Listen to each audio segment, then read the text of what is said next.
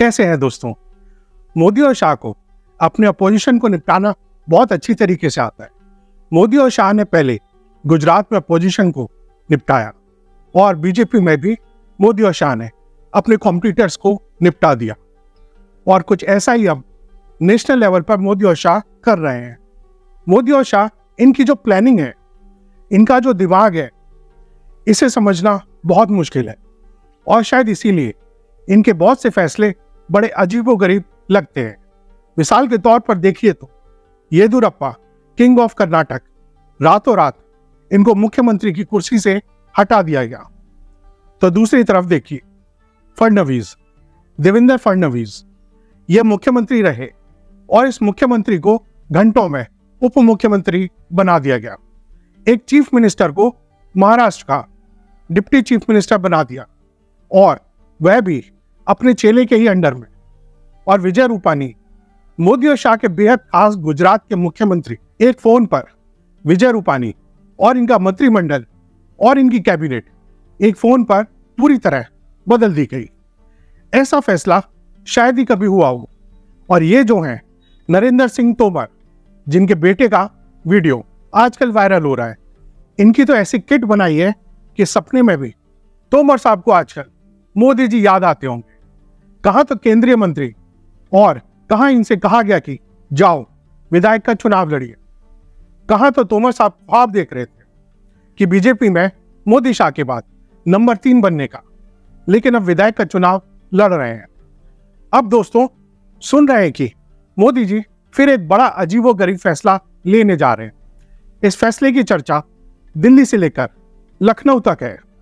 और ऐसा सुना जा रहा है कि मोदी जी चाहते हैं कि उत्तर प्रदेश के ताकतवर मुख्यमंत्री योगी आदित्यनाथ इस बार लोकसभा चुनाव में मैदान में उतरे और योगी जी को गोरखपुर से चुनाव लड़वाने की तैयारी हो रही है।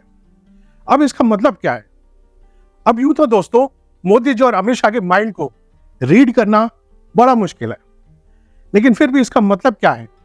वो मतलब है कि योगी जी जो इस वक्त उत्तर प्रदेश में मुख्यमंत्री है, इनको लखनऊ से गोरखपुर भेजा जाएगा और गोरखपुर में ये अप्रैल मई में चुनाव लड़ेंगे।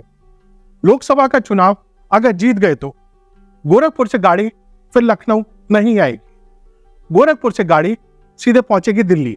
जी हाँ लोकसभा के सदस्य बनेंगे फिर से योगी आदित्यनाथ। अब ये जो अमित शाह का प्लान है, इसका मतलब क्या है? अब दोस्तों, अगर ये प्लान चाणक्य के दिमाग में चल रहा है और चाणक्य अगर इस प्लान को एग्जीक्यूट कराना चाहते हैं। तो इसका मतलब क्या है? इसका मतलब हम ये माने कि योगी जी को कुर्सी से उतारा जा रहा है। क्या मुख्यमंत्री की कुर्सी से योगी आदित्यनाथ को उतारने की तैयारी है? और क्या इस कुर्सी पर अब अमित शाह के शिष्य या अमित शाह के साथी या सिपा सालार, Keshav Prasad Maurya, OBC king of UP या OBC king of BJP, Keshav Prasad Maurya अब नए मुख्यमंत्री होंगे? अगर केशव प्रसाद मौर्य नहीं होंगे तो क्या फिर? कोई और ओबीसी चेहरा मुख्यमंत्री बनेगा बीजेपी का? क्या योगी की छुट्टी होगी? अब यह जो गुजरात लॉबी वर्ष योगी आदित्यनाथ है, या यूँ कहें, योगी वर्सेस अमित शाह की ये जो लड़ाई है, ये कोई नई नहीं है। लेकिन यहाँ पर जो नया एडिशन है, जो नई चीज़ है, वो ये है कि अमित शाह चाहते हैं कि लोकसभा चुनाव के बहाने योगी को किनारे कर दिया जाएगा। और कुछ वरिष्ठ पत्रकार जो बीजेपी को कवर करते हैं, वह बताते हैं कि कुछ नेताओं से भी बात हो रही है। इनका यह कहना है कि अगर अमित शाह कैंप का मानना है कि अगर योगी आदित्यनाथ को अब हटाते हैं मतलब 24 के चुनाव से पहले हटाते हैं तो बीजेपी के वोटर में गलत मैसेज जाएगा। और वैसे भी जब तक राम मंदिर का इनोग्रेशन या उद्घाटन नहीं हो जाता, जब तक अमित शाह कुछ नहीं करने वाले। और इसके तुरंत बाद चुनाव आ जाएगा। और चुनाव के बाद 2024 के बाद योगी आदित्यनाथ को हटाना और भी ज़्यादा मुश्किल है। क्योंकि 2024 में क्या होने वाला है, यह तो मोदी और शाह खुद भी नहीं जानते। बहरहाल, जैसा कि लोग कहते हैं, जानकार कहते हैं कि अमित शाह कैंप को लगता है कि एक तरीका है जिससे योगी का हिसाब बराबर किया जा सकता है। और वह तरीका है कि अगर इसी लोकसभा चुनाव में गोरखपुर से योगी जी को उतार दिया जाए तो एक तीर से कई शिकार हो जाएँगे। एक बार योगी चुनाव जीतकर जब दिल्ली पहुँचेंगे तो फिर लखनऊ के लिए वापसी बड़ी मुश्किल है। अब दोस्तों, चर्चा यूँ ही नहीं होती, खासकर राजनीतिक गलियारों में। कभी भी चर्चा यूँ ही नहीं होती। चर्चा होती है तभी जब कहीं धुआँ उठता है। तो धुआँ तो है, और इस धुएँ को आपके लिए क्लियर करने के लिए वाकई क्या होने जा रहा है? क्या वाकई अमित शाह ने मन बना लिया है कि योगी को कैसे ना कैसे हटाना है? 2024 के आसपास या 2024 से पहले, भले ही चुनाव के बहाने क्या है गुजरात लॉबी के मन में प्लानिंग इसकी चर्चा गोरखपुर में, लखनऊ में, दिल्ली में क्या है? यह तस्वीर आपके सामने आज साफ़ हो जाएगी। लखनऊ से लेकर दिल्ली तक चर्चा है कि योगी आदित्यनाथ को गोरखपुर से लोकसभा में चुनाव लड़ाया जा सकता है। गोरखपुर से चुनाव लड़ सकते हैं योगी। बनारस से मोदी और गोरखपुर से योगी। क्या ऐसा हो सकता है कि क्या योगी जी को, जो अभी मुख्यमंत्री हैं, वो गोरखपुर से चुनाव लड़े लोकसभा का? देखिए दोस्तों, क्या नहीं हो सकता राजनीति में? क्रिकेट की तरह ही यह भी संभावनाओं का खेल यह भी है। और बीजेपी में तो नारा ही बुलंद है कि मोदी है तो मुमकिन है। आप जरा थोड़ा सा तस्वीर का दूसरा पहलू देखिए। जब येदुरप्पा, जो कर्नाटक का दिग्गज लीडर है, उसको जब कुर्सी से उतारा जा सकता है, जब गुजरात में रातों रात पूरे कैबिनेट बदल दी जा सकती है, उत्तराखंड में मुख्यमंत्री लगातार बदले जा सकते हैं, और उधर महाराष्ट्र चले जाइए, एक नाथ शिंदे जैसे व्यक्ति को जब मुख्यमंत्री बनाया जाता है तो डिप्टी सीएम किसे बनाया जाता है? देवेंद्र फडणवीस को। जबकि इनका नारा लग रहा था कि मुंबई में देवेंद्र और दिल्ली में नरेंद्र। उसको भी डिप्टी सीएम बना के पीछे धकेला जा सकता है। तो फिर क्या नहीं हो सकता? मध्य प्रदेश में देख लीजिए। तीन कैबिनेट मंत्री उतार दिए वहाँ पर। और पाँच सांसद, कैलाश विजयवर्गीय जैसा राष्ट्रीय महासचिव, उनको विधायकी पर लौटना पड़ रहा है। गुजरात लॉबी का जो हुक्म होगा, वो करना होगा। लखनऊ में भले ही आप कहें कि यूपी में रहना है तो योगी योगी कहना है। लेकिन बीजेपी सियासत करनी है तो फिर मोदी जो कहेंगे अमित शाह जो कहेंगे, वो करना होगा। आज योगी का मतलब है कि बिग किंग ऑफ़ यूपी मतलब उत्तर प्रदेश के बड़े महाराज, एक इतना ताकतवर मुख्यमंत्री, जो यूपी में पहले कभी नहीं रहा। तो अगर योगी इतने ताकतवर हैं, क्या योगी को भी किनारे किया जा सकता है? और क्या ये लोकसभा का चुनाव जब लड़ेंगे, योगी ज़ाहिर तौर पर जीत जाएँगे तो क्या योगी की फिर लखनऊ में वापसी होगी? गोरखपुर की ट्रेन पकड़कर फिर सीधे दिल्ली क्या लखनऊ बीच में आएगा? जो स्ट्रेटेजी है गुजरात लॉबी की कि? इनको किसी तरह से लोकसभा का चुनाव लड़ाकर इनका यूपी के सीएम पद से अध्याय समाप्त करो। निश्चित तौर पर योगी आदित्यनाथ उत्तर प्रदेश में कितने भी ताकतवर हो, लेकिन जब अमित शाह के घर जाते हैं तो उन्हें भी जूता बाहर उतारना पड़ता है। मोदी जी से जब मिलते हैं तो कंधा झुकाना पड़ता है। फिर गले में हाथ डाला जाता है और यह दिखाया जाता है कि आप हमारे सामने क्या है? और दिल्ली उनको बुलाया गया, और अगर वो दिल्ली के ज़रिए गोरखपुर जा रहे हैं तो लौटकर लखनऊ नहीं आएँगे। यही आजकल उत्तर प्रदेश में चर्चा है। जो शतरंज की बिसात बिछाई जा रही है उसमें क्या योगी के तमाम मोरे पिटने वाले हैं? और यह इच्छा यहाँ गुजरात लॉबी की है। अमित शाह और मोदी विकल्प के तौर पर केशव प्रसाद मौर्य को आगे बढ़ा सकते हैं, और मौर्य कैबिनेट मीटिंग में भी नहीं जा रहे योगी से सीधे मुँह बात नहीं करते। योगी जी क्या दंडवत नहीं होते, नतमस्तक नहीं होते, केशव प्रसाद मौर्य दीपोत्सव नहीं गए, अयोध्या नहीं गए, छोटी दिवाली के दिन। अमित शाह ने सोचा होगा कि, भाई केशव प्रसाद मौर्य को आगे करो, या दूसरे बैकवर्ड कास्ट के पंकज चौधरी, जो राज्य मंत्री हैं केंद्र में, वह भी एक ओबीसी फेस है। तो क्या अमित शाह के जहन में और भी विकल्प हैं? और क्या अमित शाह चाहते हैं कि 2024 के बाद ये योगी फैक्टर जो उनकी फ्यूचर पॉलिटिक्स के लिए बहुत नुकसानदेह साबित हो सकता है। क्या जिस तरह से देवेंद्र फडणवीस को किनारे किया गया, क्या उसी तरह से, उसी तर्ज पर। अब योगी जी की बारी है। डेफिनेटली शाह इस बात को समझ रहे हैं अभी नहीं तो कभी नहीं। यही आखिरी मौका है। क्योंकि 2024 का नतीजा क्या होगा, ये किसी को नहीं पता। अमित शाह भी इस बात को जानते हैं। तो जो भी उनके सामने प्रतिद्वंद्वी खड़ा है, उसको वक्त से पहले ही दूर कर दो। उसका कद छोटा कर दो। शाह की चाणक्य गिरी। केवल विपक्ष के लिए नहीं है।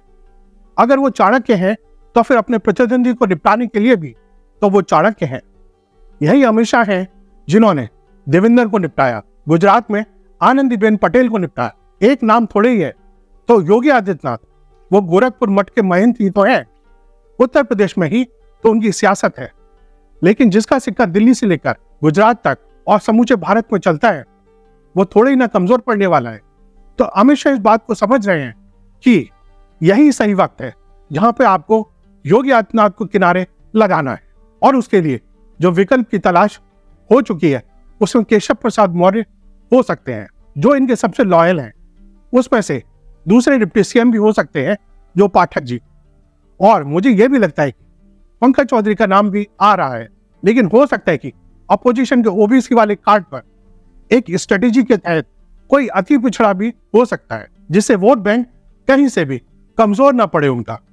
तो कहीं भी ये खेल खेल सकते हैं। वो अगर रोहिणी कमीशन की रिपोर्ट को टेबल नहीं कर रहे हैं, जाति का जो इशू बहुत तेज़ी से आगे बढ़ रहा है, उसके काउंटर में वो किसी अति पिछड़े को भी ला सकते हैं। और मोदी जी, इसके लिए माहिर हैं कि पता ही नहीं चलता कि वो असल में किसको सीएम बनाना है, कौन किसको कब कहाँ बुला ले। हमें और आपको और या मीडिया को? कैसे पता लगेगा जब डिसाइड दो लोगों को करना है? अब जब बीजेपी में एक डेमोक्रेटिक सेटअप नहीं बचा है, मंत्रिमंडल और सेंट्रल इलेक्शन कमेटी और पार्लियामेंट्री बोर्ड ये सब नाम के हैं, इनसे सिर्फ़ दस्तखत करा लिए जाते हैं। तो ठीक है, हम लोग कयास नहीं लगा रहे लेकिन एक चीज़ है कि भाई गोरखपुर से योगी जी को चुनाव लड़वाया जा सकता है। अब अगर मैं ये सोचूं कि गोरखपुर से चुनाव लड़े योगी जी और चुनाव जीत गए जीत कर योगी जी दिल्ली पहुँचे और उधर मोदी जी, बजाय दो सीटों के 225 पर अटक गए तो क्या होगा?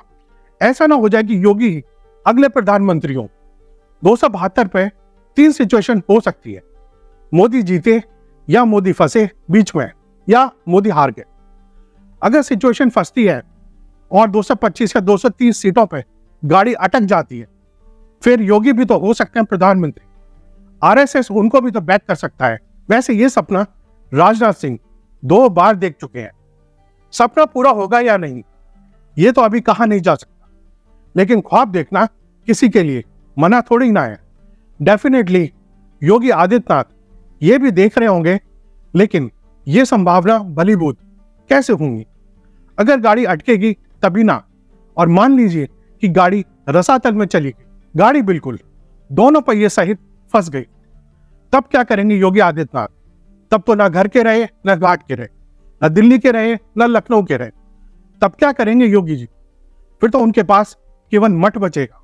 चलिए, ये सब एक सिचुएशन और मान लीजिए। योगी आदित्यनाथ चुनाव जीत जाते हैं और मोदी जी हार जाते हैं। तो फिर वापस तो आ सकते हैं ना वो। छह महीने तक आप विधायक या संसद, दोनों में से कुछ भी चुन सकते हैं। तो वो वापस आ सकते हैं। लखनऊ कंटिन्यू कर सकते हैं एज ए मुख्यमंत्री। या एक बार अगर वो संसद बन गए 2024 में तो क्या वापसी नहीं होगी? रिवर्स नहीं होगा डिसीज़न? तो दोस्तों, ये वन वे ट्रैफ़िक है। ये कमान से निकला हुआ तीर है। वापस नहीं आ सकता। अगर योगी जी ने अपना दर छोड़ा, अपना मठ छोड़ा तो फिर वो ओरिजिनल वाला ही मठ बचेगा। ये बिल्कुल तय क्योंकि आप पूरी बीजेपी उठा के देख लीजिए। वहाँ कौन बचा है? गडकरी जी थोड़ा बहुत बोल पाते। बाकी तो सबके मुँह में लगाम लगी। किसी में हिम्मत नहीं है। और नरेंद्र मोदी के बाद एक बड़ा चेहरा, योगी जी है। तो डेफिनेटली योगी कोई इस तरह कच्ची गोली नहीं खेलेंगे। लेकिन अगर ये चूक हो गई, और उसमें अगर योगी आदित्यनाथ आ जाते हैं, और भगवान ना करे, वह दोनों पहिए फंस जाते हैं तो फिर लौटना लगभग नामुमकिन होगा। हिंदुस्तान का जो सबसे बड़ा सूबा है उत्तर प्रदेश, और यह योगी मोदी की लड़ाई दिन पर दिन बढ़ती जा रही है। क्या ये घमासान तेज हो रहा है? क्या इसमें पूरी की पूरी बीजेपी की पार्टी डिवाइड है। क्या इसमें मंत्रिमंडल डिवाइड है? कुछ लोग योगी के साथ है, बाकी लोग अमित शाह के साथ। इस तरह का डिवीज़न आप लोगों को भी लखनऊ में दिख रहा होगा। अब देखिए आई एस ए के शर्मा जब आए थे तो वह मोदी के कितने खास थे। लेकिन उनको योगी ने छह महीने तक लटका के रखा। योगी जी ने टाइम ही नहीं दिया उनको मिलने का। और फिर अभी दो एग्ज़ाम्पल आपके सामने है। ओम प्रकाश राजभर और दारा सिंह चौहान। दोनों बेचारे कब से बैठे हैं मिनिस्टर बनने के लिए। लेकिन योगी इतनी आसानी से सरेंडर होने वाले नहीं है। लेकिन तलवारें जो खिंच चुकी है, उसमें अमित शाह का पलड़ा भारी है, क्योंकि यूपी की जो कैबिनेट है और यूपी के जो विधायक हैं, वो ज़्यादा अमित शाह के साथ दिखाई पड़ते हैं। योगी जी अब प्रशासनिक अधिकारियों के ज़रिए अपना पूरा शासन और प्रशासन चला रहे हैं। अब मान लीजिए, योगी जी गोरखपुर लोकसभा लड़ने से मना कर देते हैं कि वो मुख्यमंत्री ही ठीक है। वो संसद का चुनाव नहीं लड़ेंगे। और अगर मोदी जी भी मान जाते हैं। अच्छा ठीक है, मुख्यमंत्री रहने दीजिए। मान लीजिए 2024 का चुनाव, मोदी जी हार जाते अमित शाह और मोदी सड़क पर आ जाते और योगी मुख्यमंत्री रहते हैं। फिर भाजपा में क्या होगा? फिर डेफिनेटली अगर मोदी जी, अमित शाह हार जाते हैं तो फिर योगी का ही सिक्का चलेगा। यह एक बड़ी संभावना है, क्योंकि यह भी माना जाता है कि आरएसएस और मोहन भागवत मोदी जी से खुश नहीं है। गुजराती लॉबी से खुश नहीं है। और अगर यह होता है, हालाँकि आरएसएस ये कभी नहीं चाहेगा कि सत्ता उसके हाथ से निकले। लेकिन सत्ता अगर निकलती है, फिर आरएसएस योगी आदित्यनाथ पर दाव लगाएगी। बीजेपी के पास प्रचंड बहुमत है। उत्तर प्रदेश में बीजेपी की सरकार 2027 तक कहीं नहीं जा रही। कोई गिरा नहीं सकता। तो योगी जी अगर मुख्यमंत्री बने रहते हैं 2024 में मोदी इलेक्शन हार जाते हैं तो फिर योगी योगी होंगे। लास्ट ऑप्शन, अगर मोदी और शाह यह सजेस्ट करते हैं कि आप गोरखपुर से चुनाव लड़िए। पार्टी को ज़रूरत है आपकी। और हमने देखा है कि मध्य प्रदेश में जिस तरह से कैबिनेट मिनिस्टर को विधायक का चुनाव लड़ाया गया साथ साथ सांसद राज्यवर्धन सिंह राठौड़ जैसे नेता विधायक का चुनाव लड़ रहे हैं राजस्थान में। इसी तर्ज पर अगर मोदी जी का आदेश आ गया, फ़ोन घुमाया मोदी जी ने और कहा कि, योगी जी, आप गोरखपुर से लड़े तो क्या योगी मना कर सकते हैं? क्या योगी जी आज इस हैसियत में है? योगी जी के पास कोई विकल्प है या नहीं है? तो दोस्तों, मुझे लगता है कि योगी नरेंद्र मोदी को मना नहीं कर पाएँगे। और फिर उसके बाद उनकी स्ट्रेटेजी बदलेगी। कि अगर वो चुनकर आते हैं और मोदी जी की सरकार रहती है तो क्या करना है? और अगर नहीं रहती तो क्या करना है? क्योंकि तो छह महीने में वो वापस आ सकते हैं। उनकी कुर्सी तो कोई नहीं छीन सकता। देखते हैं चौबीस में क्या होता है। लेकिन एक बात तय है, जो मैं मानता हूँ कि उत्तर प्रदेश में योगी वर्सेस अमित शाह, की जो लड़ाई है, जो जंग है, जो तलवारें खींची हुई हैं यह घमासान बढ़ता जा रहा है। आपकी इसमें क्या राय है, मुझे कमेंट में ज़रूर बताएँ। आज के लिए इतना ही दोस्तों। आपको वीडियो अच्छी लगी हो तो लाइक ज़रूर करें। ऐसी और इंफॉर्मेटिव वीडियोस के लिए चैनल के दूसरे वीडियोस भी देखें। और जाते जाते चैनल को सब्सक्राइब और बेल आइकन को दबाना ना भूलें। Tata bye bye